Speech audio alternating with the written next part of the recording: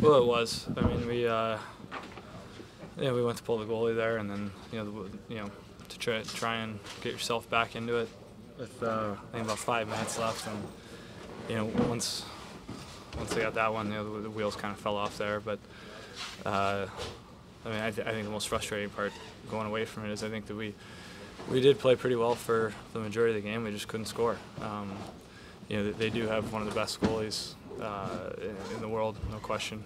Uh, but you know, we didn't score a goal, so uh, they, they only needed one to win. Yeah, and, and he is a good goaltender. Was it all Miller, or was there something else there that wasn't clicking?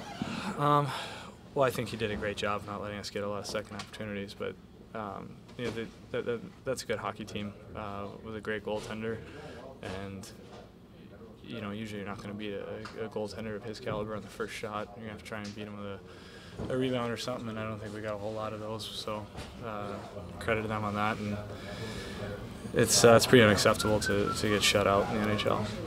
When does uh, when does the anger really start to take over and start to provide maybe a little something extra? Because I know you guys are frustrated and probably a little PO'd about the whole thing. Yeah, I mean, you're trying to walk a fine line of uh, not letting emotion override your intellect uh, when you're playing. Um, you know, but there's, I, I, definitely think, you know, we could show a little bit more emotion in our game. Uh, but there's a fine line of playing with emotion and playing under control. And, uh, but I don't think that we're uh, pushing the envelope quite enough.